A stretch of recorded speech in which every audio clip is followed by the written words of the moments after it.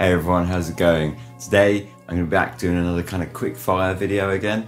So I did before my five full fragrances that are kind of like safe signatures.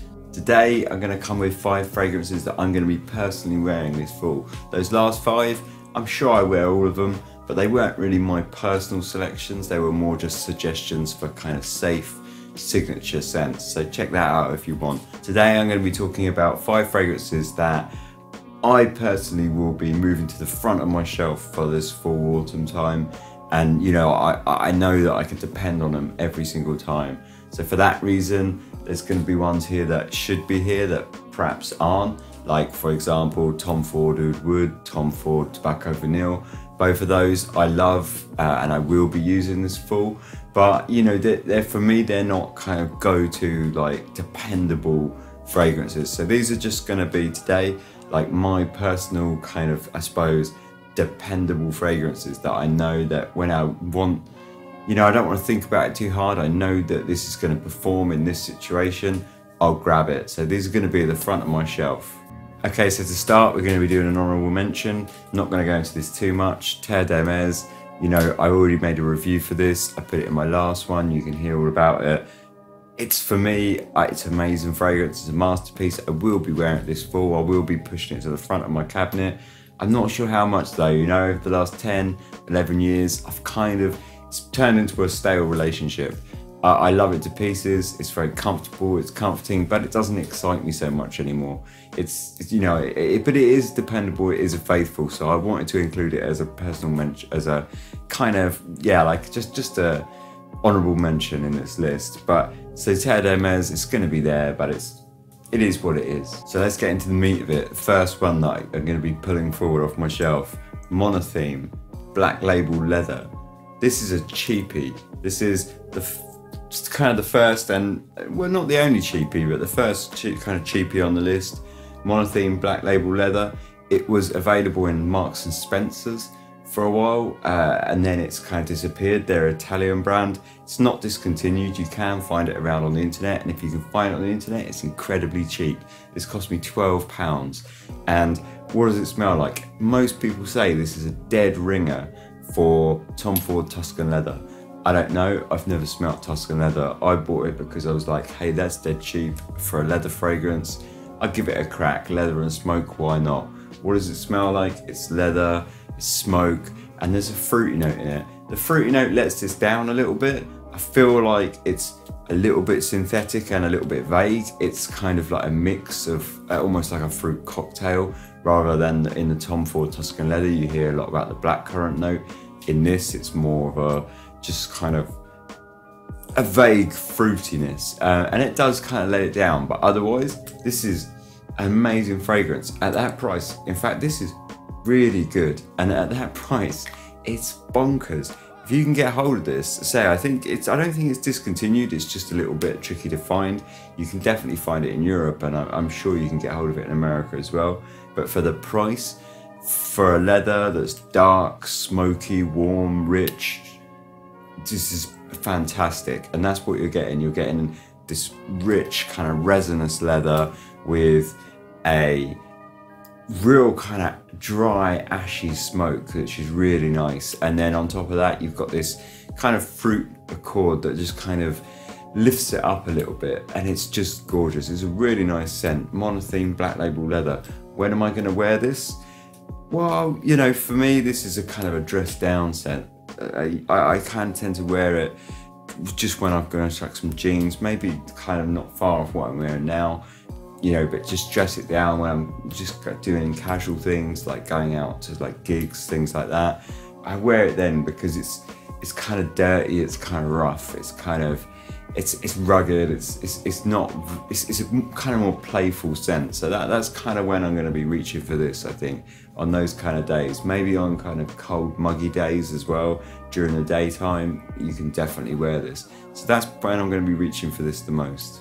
Okay, next up, this is going to be my refined choice. So when I want to wear something that is refined when I'm going out, when it's, you know, to, to sort of dress up, and be wearing probably more or less most of the time if I want, you know, if I, if I don't want to think about it too hard, L'Instant de Guerlain. This is just a beautiful fragrance. What can I say? It's, you know, it's a classic. Everyone knows all about it. It's lemon on the top with coca and patchouli. It's powdery. It's a little bit medicinal with the aniseed, which I'm not really that keen on, but it fades quite quickly. Um, people say this is sexy. I don't think it's sexy at all. I think it's far too refined and rigid for that. For me, like a fragrance to be sexy, it needs to be a little bit more playful. This, I think, is quite rigid and quite refined uh, it, it's definitely only doing what it wants to do, but what it wants to do is absolutely brilliant. And that's why I'm going to be reaching for it. You know, when am I going to be wearing this? When I need to go out, when I want to dress up, things like uh, dinners, anything that really requires a tie or you know a shirt and a pair of shoes. That that you know this is going to work for that. This is definitely a refined scent. I'd say a lot of people wear this in the daytime. That's fine. I'd wear it in the daytime. But I don't get the sexiness. For me, this is far from sexy. It's anything but sexy. It's, it, it, I mean, it has a kind of classy refinedness to it that I suppose you could call sexy, but I wouldn't say it's sexy in that playful kind of jiggy jiggy kind of way. It's more sexy in a, I guess, kind of, hey, I'm a refined sophisticated gent, I, I, guess, if you find that sexy. It's cold, it's warm, it, it, it's sweet, it's kind of sour, it's it's just a postmodern classic. It, it smells like a classic fragrance. It's, it's like powdery, medicinal, but at the same time, it's got this chocolate sweetness underneath it, and it's just keeps it playful and brilliant. Say the aniseed in this I'm not a big fan of the aniseed, but it does fade away quite quickly. The more I smell this, the more I enjoy it. When I first ever got this fragrance, which is this is my second bottle now, when I first got this, I felt like, oh, you know, that's a bit old manish. I'm not too sure about this. And I wore it just the first time, and it sits very close to the skin, which is another reason it's good for those kind of refined, sort of classy affairs when you want when you're dressing up because you don't want to beast mode it in something like that. You're just going to come across crass and crude. So you know it's good for things like that. Get back to my story. First sprayed it and I didn't like it. I thought this is not what I was expecting. I was expecting this like sexy chocolate and it just wasn't there at all. I'd say it's definitely not a gourmand in my opinion. Uh, so you know, I wore it and I thought, well, what's what's the fuss with this? And then I, I kind of lost the smell of it. And when I lost the smell of it, I immediately felt like, oh, you know, I, I want to smell that. And I was sniffing my arm, like, yeah, this is amazing. And then I'd catch wafts of it and really enjoy it, and then it would kind of die out. And and I'd, as soon as it would die out, every time I felt, I want to smell that again. And that kind of subtly made me realise this scent's amazing. For autumn, I think it's really nice because it's got that warmth. Uh, it's got the kind of the aniseed, the patchouli, the chocolate from the coca bean. Um, you know, what else is in this? Rose, jasmine. It's it's a gorgeous scent. It's it's a it's a fantastic scent, and I say this is going at the front of my wardrobe for when things like I have to dress up put a shirt and tie on maybe, look a bit classy, do things which are a bit refined. This will be the scent that I'll be like mostly picking out. Okay, so third on this list, this is another kind of quite classic, I guess, but Lalique Encre Noire. Now, this scent, you know, if you've seen my Terre d'Hermes review, I said that that uh, Jean-Claude Ellena, he, he did a masterstroke with that orange note by making it bitter. And, and I said that uh, you know, if it didn't have that orange note, Terre d'Hermes was kind of just about ready to kind of jump off a cliff into a kind of dark pit, while Encre Noire doesn't have the, the orange note to pull it back. Encre Noire just says, you know what, go off that cliff. Encre Noire smells like it dug into the heart of her, like d'Hermes, ripped its heart out, wrapped it in a rag and then carried it off to the forest and set it on fire the whole place. It's absolutely incredible. If you like woods, if you like vetiver, pff, this is incredible. When am I going to be wearing it? I mean, who knows? Who cares? This fragrance doesn't care. It's just unapologetic in its rawness. It's incredible. It's just, it smell. It, it's so good. It's uh, uh, me personally. I love vetiver, and that's pretty much the you know the the dominant note in this. It's basically icy Super, Woods, vetiver, nothing else. Have it, and it's incredible. For this time of year, it's amazing.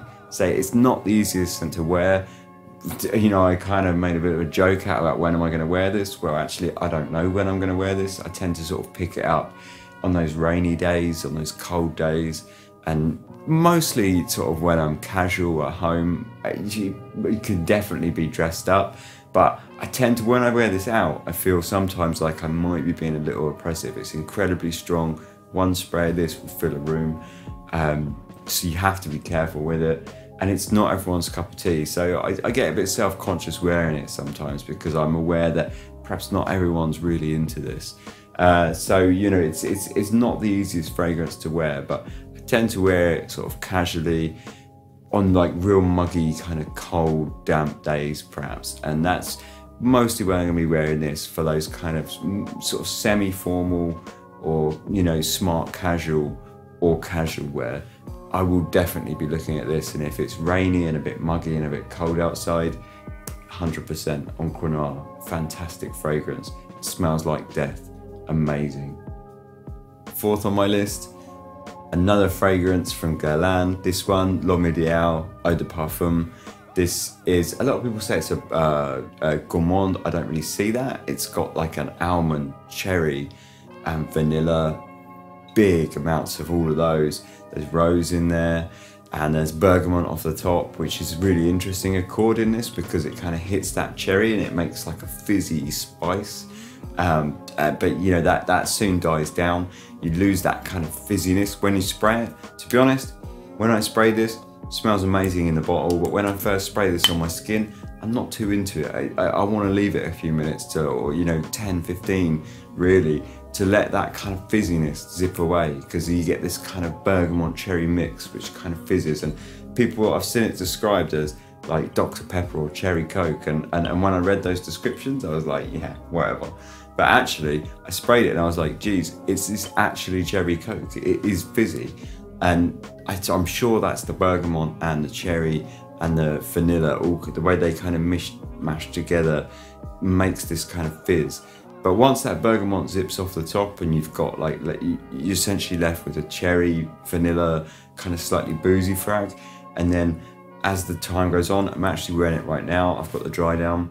This is this dry down's about four or five hours and it's just incredible. And it's sort of turns into a, just a very subtle, close wearing, refined, classy. It's, I mean, it's Guerlain. What do you expect? A lot. I mean, it's a departure for Guerlain in many ways, but it's still kind of that classy, refined Guerlain. You're left with, say, like a, a kind of almond cherry with a very kind of just an incredible vanilla underneath. And it's just soft, it's cozy, it's warm, it's sexy, it's just great.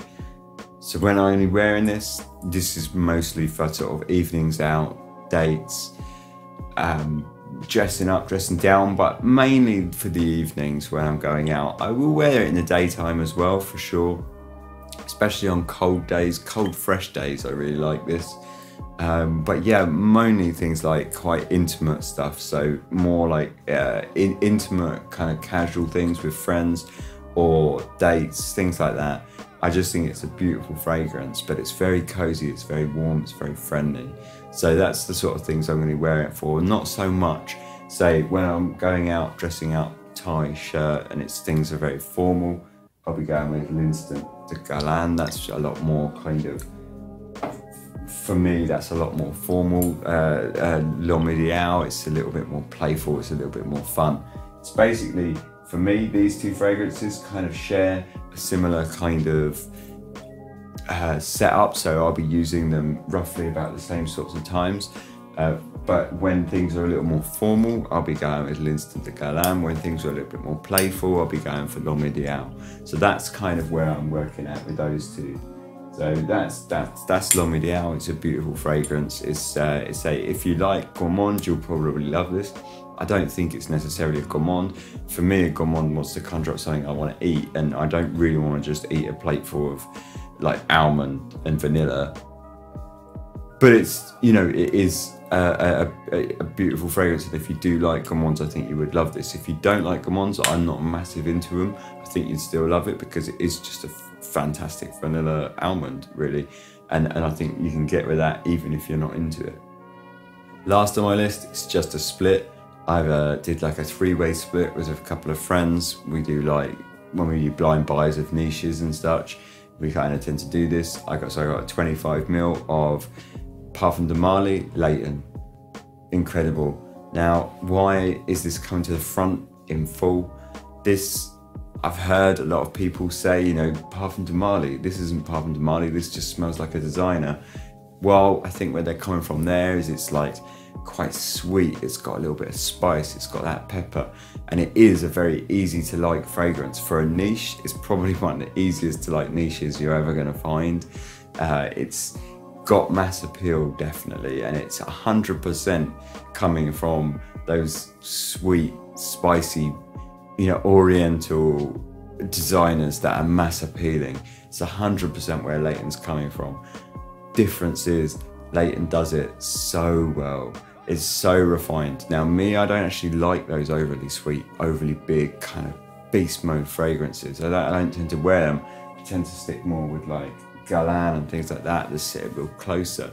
Uh, you know, if things are beast mode, I'll wear them, but I'll just dial back on my sprays because I'm not really into that big kind of scent cloud.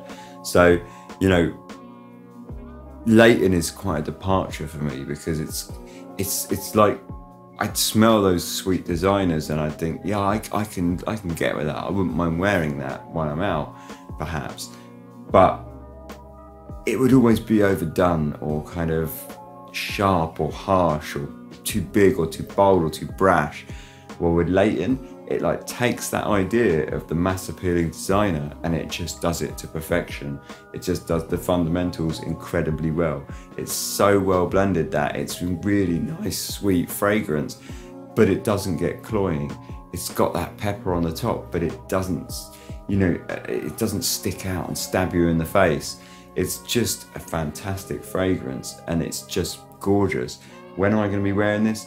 Pretty much as my full signature, to be honest every day almost if I can get away with it I would wear it.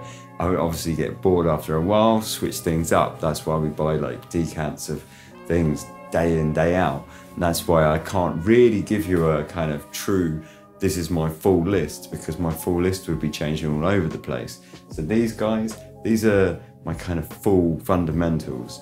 And Layton is top of that pile for me. It's going to be you know whereas the others quite situational, you know. I've got my kind of like sexy dates nights with the kind of L'Homme Ideal. I've got my kind of L'Instant de Guerlain for my kind of more refined stuff when I want to dress down and kind of just be a bit grungy. I've got Monotheme Black Label Leather and I've got Encre for when I want to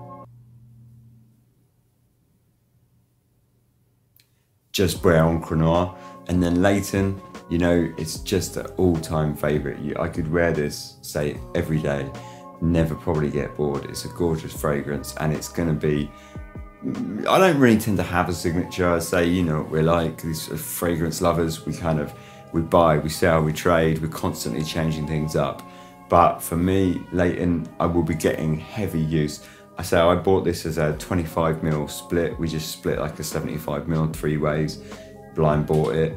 I wasn't really I wasn't really sure what to expect. I like Parfums de Marly. I really like Herod. I you know I really like Nisean.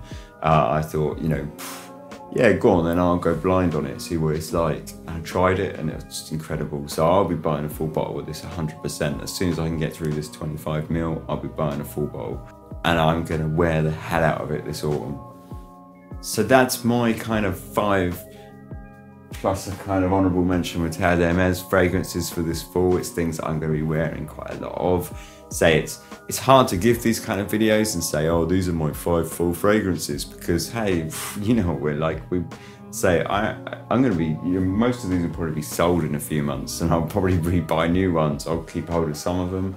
I'll keep hold of like L'Homme In fact, I'll keep hold of all of these. I don't sell that much, but I'm going to be buying new things in constantly. So it's hard to give that, but I know for sure that these are going to be like stapled, nailed on, pulled to the front of my wardrobe because they're going to get a lot of use. So these are my sort of full dependables, I guess. Cheers for watching. If you bang anything in the comments, let me know. Like, subscribe, dislike, thumb down, thumbs up, whatever you like. Cheers for watching. See ya.